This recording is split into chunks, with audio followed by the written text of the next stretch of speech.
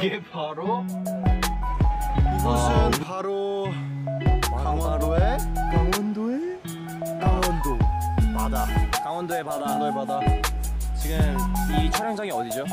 이 촬영장이 고성군 고성군? 뭘 촬영하러 왔죠? 이죠.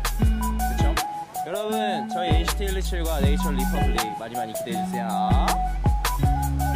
장으로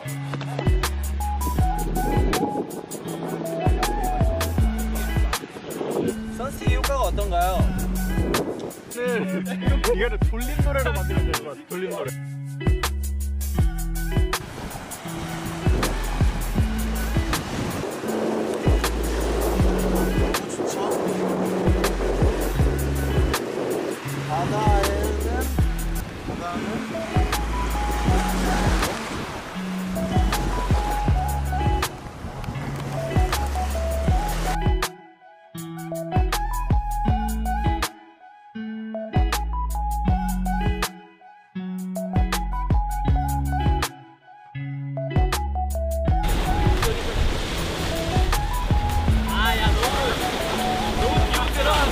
와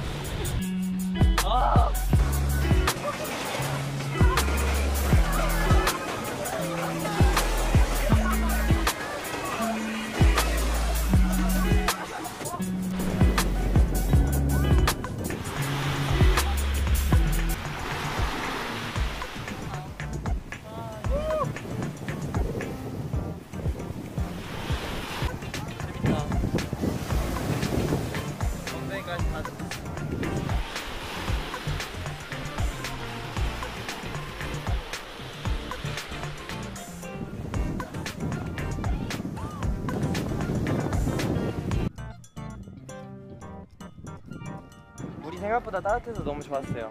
지금까지는 되게 차가운 그런 데만 갔었는데 되게 좋았고 경치도 좋고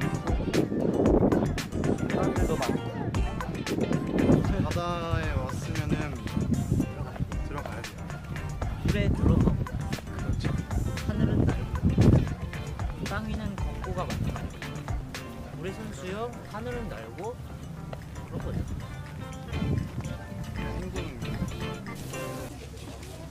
자,